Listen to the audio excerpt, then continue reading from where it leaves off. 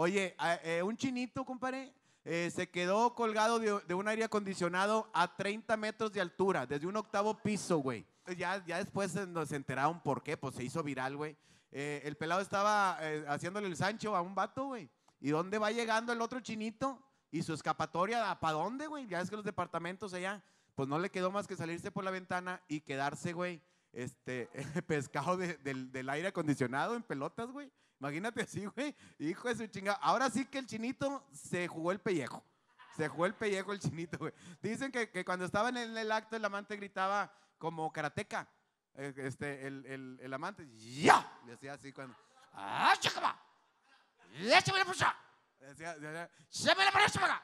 Se oía, así yo no sé hablar en chino, yo no sé hablar en chino, pero, ¡échame la pierna para arriba! Eh, ¡Ya! ¡Échame la para acá! No, no, no, no le entendía muy bien, pero hacía exclamaciones, ¡ya!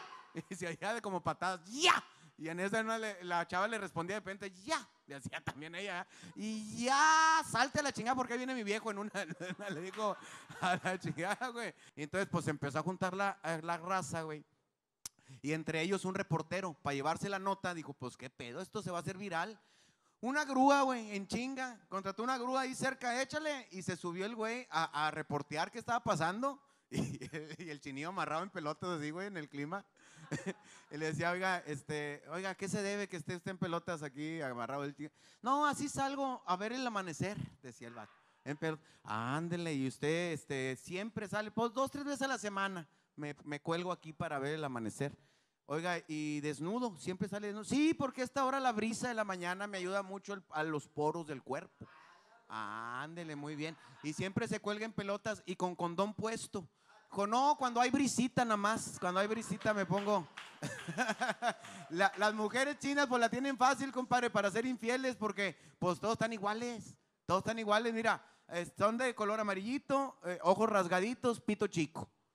Entonces dice, no, hasta la puede despistar la vieja. Si la, si la pescan, güey, donde la vea, ah, chinga, ¿qué estoy haciendo aquí? Pues no estamos cogiendo hace ratito aquí. No, pues es otro. Se, se- se puede pre- prestar, güey, para ese rollo, compadre. A- aunque quién sabe, compadre, porque si a mí me hubiera pasado, si a mí me hubiera pasado ese pedo de que tenía que salirme a colgarme, güey, de, de un, de un clima, para el pinche pesito que me cargo, me traigo el clima con todo y cables y alambres y la chingada. Mi, mi vieja me oyó hacer este comentario. Dijo, pero de pendejas agarramos un amante eh, gordo. O para qué chingados, si me agarro un amante, pues para qué chingados lo quiero gordo. Para gordo el que tengo en la casa. Yo agarro uno, uno que esté machín, chicharrín. Y me quedé pensando, si mi mujer me engañara con un chino, güey. Fíjate lo que te voy a decir. Si mi mujer me engañara con un chino, ya tengo las palabras que le voy a decir por la nota. Es más, espero que un día mi vieja me engañe con un chino, güey. Ojalá.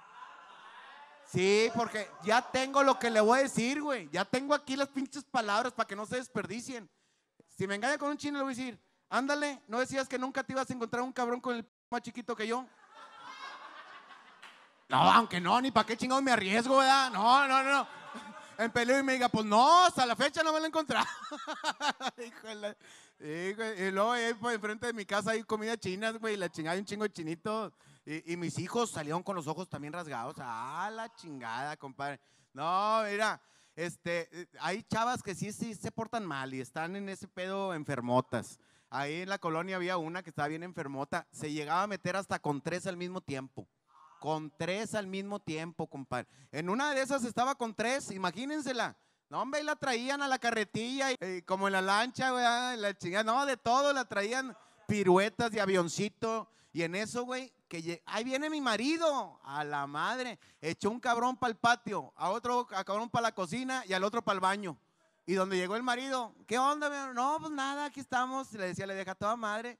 Ay, cabrón, traigo un chingo de hambre, deje ir a la cocina, este, para echarme un sándwich. Ni entres. Se metió un pinche gato de esos como monteses, que eso, se ve bien peligroso. Y el que estaba en, en- en el- en la cocina dice, ¿cómo chingado le hacen los, los- los gatos monteses? Le hacía el güey. Y el vato, no, güey, ¿sabes qué? Deja ir al patio por una escoba, ni salgas. Hay un pinche perro, esos grandotes de los Budweiser, de los grandotes.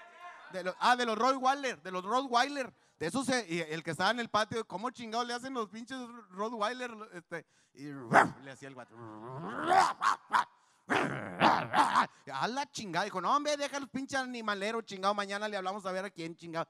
Yo voy a ir a, la regadera para echarme un, baño. Y le, Ni entres. Hay, un tigre ahí. Eh, eh, hay un tigre. Y, y dije, ah, chinga, poco un tigre. Sí, y el que estaba en el baño, ¿cómo le hacen los pinches tigres? Dijo, no, me parezco al pinche gato montés de aquel pendejo. No, la chingada. Y dijo, no, qué tigre ni qué la chingada. Ya no le confió, le dio la patada al baño. Y ahí estaba el vato así, güey.